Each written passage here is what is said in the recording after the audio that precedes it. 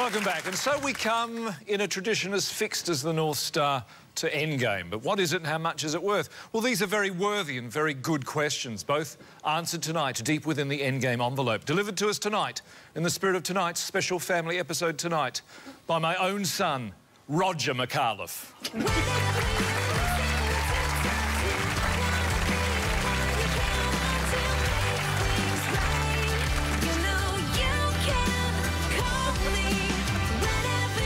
Thank you, Roger. Um, tonight's endgame is worth 12 points, which means anybody can win. And ask the question, which generation is best at... Thank you, Stuart. Filling a car with ping pong balls. Oh.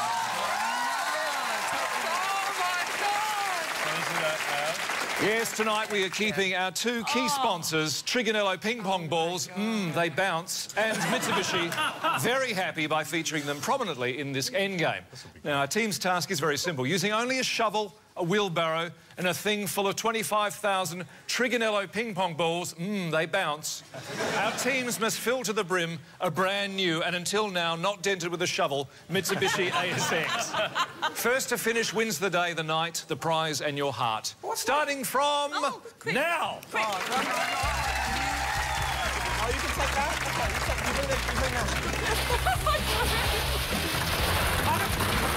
Okay. Yeah. Gently, because they bounce around a lot. ineffective. Try not to spill any of the balls. Oh, yeah. Ridiculous. Go, one at a time. Oh, this is okay, let's take it over now. Okay. I'll, I'll uh, give you some interesting facts about ping pong balls. Uh, here we go. Amanda, you'll like this. Ping pong diplomacy describes a thawing in the relationship between China and the United States during the 1970s. Yeah. Isn't that interesting? Yeah. I don't think you got any in on that one. No. Oh, no. Keep going, Amanda. That's no, okay. Josh is wrecking everything. That's all right. No, that's part of the course, isn't it? Here we are. Mao Zedong was an excellent table tennis player and beat Richard Nixon 21-9, 21-4 in a uh, in a Sorry, in a best. If that's all right. I'd like to be more interested. I'm sorry. that's all right. It's a very interesting yeah, story. Not to be rude. Basically, what happened was Mao Zedong beat Richard Nixon in a best of three uh, table tennis match, billed as the Pong of Kong. Put it down. Called. You put it down. Fascinating. Whoa. Did you know that table tennis balls are made of celluloid? Is that interesting? I've got celluloid. No, that doesn't work. Uh, Hey, Charlie, here's an interesting fact. Yes, Sean. In Neolithic times, an animal's scapula, or his shoulder blade, well, was often used no, as a ping pong ball. No good. That's what it says here. Oh, where are we going?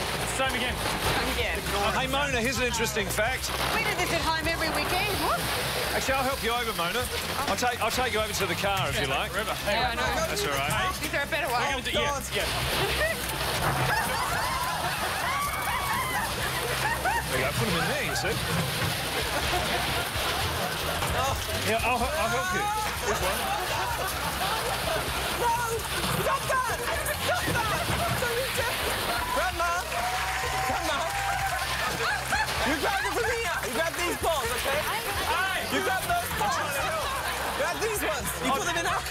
Car! Drop them there! Is that the wrong one? No! We usually don't... No, no, no!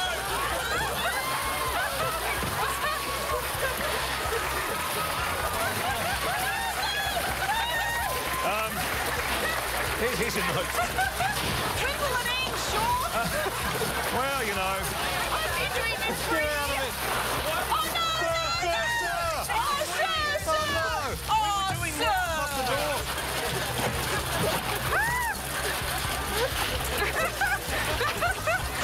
An interesting fact about the wheelbarrow, Amanda. Yes, I'm fascinated. Sean, tell me. The wheelbarrow may have been invented by, by ancient Greece. All right, we've only got um, 10 more seconds. Gone, Mona, he's 10, gone. 9,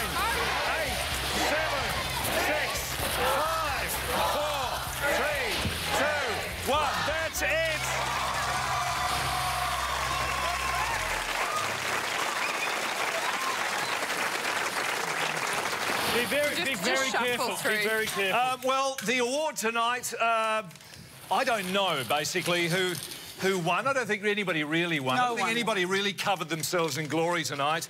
But one person who was covered in something tonight, who I think deserves this award personally and by herself, the first person of her generation to appear on this show to be covered in sour cream. Ladies and gentlemen, Mona Hale wins tonight's prize.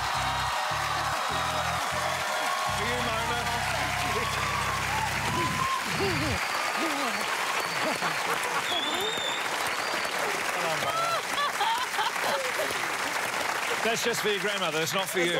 It's not for you at all. What? How was I meant to win that challenge with uh, her? so, did, did Mona not do enough for you tonight?